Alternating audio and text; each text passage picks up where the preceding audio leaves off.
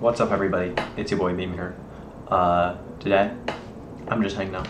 For breakfast, I had waffles. For lunch, I had uh, a sandwich and this barbecue sandwich that was at lunch. And for dinner, we had these uh, quesadillas. Not very healthy dinner, but uh, not very healthy meals today at all, really. But it, it was okay. Uh, yeah, we got a robot vacuum, which is crazy. Um, it's this Ecovacs type one, and uh, we would have gotten a, a Roborock, but that's like a thousand dollars, and uh, this one is a lot cheaper. Uh, and the only reason why you would get a Roborock is um, because of like the slightly better suction. But the thing is, is we don't have anything that would need super big suction, and we're not definitely not getting a Roomba because it has like ten times worse suction than like the worst robot vacuum that isn't a Roomba, right? The only reason why they have like Roombas are so popular is number one the name brand, and number two they have a patented um, uh, roller technology, and so it's fine. You, you don't have to um,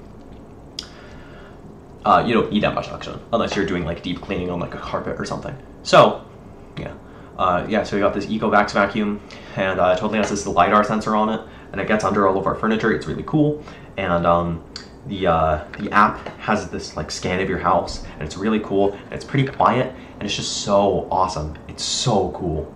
It, it's really amazing. It's charging right now, but it's just so cool. It's so cool. It's so cool. All right. Um, yeah. Uh, yeah. See you, dude.